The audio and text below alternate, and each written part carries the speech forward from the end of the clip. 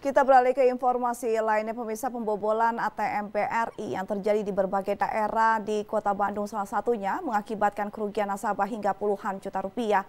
Menanggapi kasus tersebut, Kepala Perwakilan Bank Indonesia Jawa Barat menghimbau agar masyarakat berhati-hati saat mengambil uang di ATM.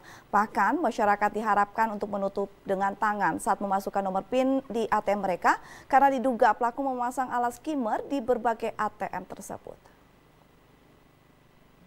nasabah memang itu kan dia mungkin pakai apa namanya kamera ditempel gitu ya. Jadi sebaiknya teman-teman yang ngambil ATM nasabah tolong kalau ngambil itu ditutup begini tangannya.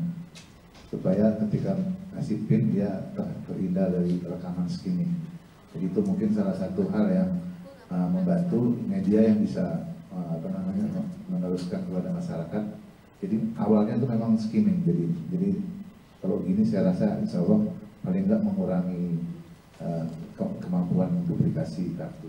Yang jelas bahwa uh, kita terus melakukan komunikasi, kita terus melakukan komunikasi kepada apa namanya kawan kantor perbankan untuk mencari uh, apa namanya solusinya seperti apa. Karena isunya adalah memang ini kan terjadi di beberapa tempat yang ATM ATM ATM ATM dalam tanda petik tidak dikontrol dengan baik kan gitu ya ini juga salah satu himbauan kepada masyarakat misalnya kalau dia ngambil ATM itu di tempat-tempat yang memang sudah atau di tempat-tempat yang baik lah kira-kira begitu di tempat-tempat yang lebih secure lah kira-kira begitu.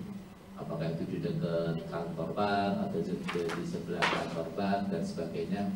Sehingga kemungkinan-kemungkinan itu bisa eh, apa namanya eh, dihindari Pihak kantor perwakilan Bank Indonesia Jawa Barat pun berencana memanggil semua perwakilan perbankan di Bandung Senin mendatang untuk mengantisipasi berulangnya kasus tersebut. Budi Hartati, Bandung TV.